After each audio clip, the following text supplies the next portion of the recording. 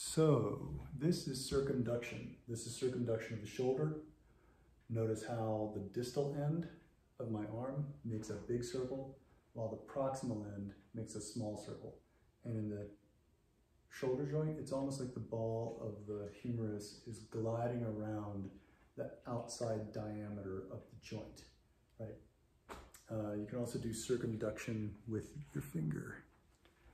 And this is hip circumduction.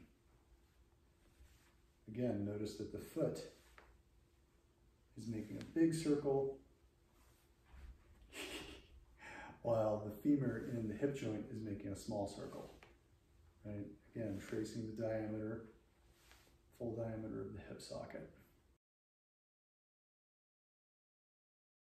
You can also do that with your ankle.